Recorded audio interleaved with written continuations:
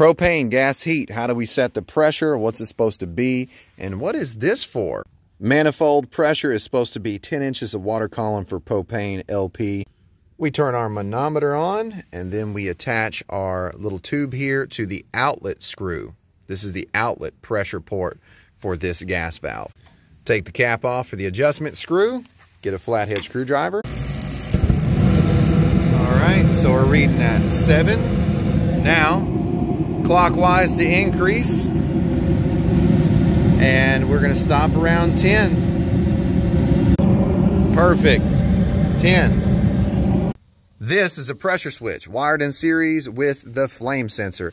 And that is because whenever there's low gas pressure and your propane tank probably is low on gas, it doesn't cause a sooted up heat exchanger because low gas pressure will cause a sooted up heat exchanger. So it'll shut the system down. Don't forget to check your tank.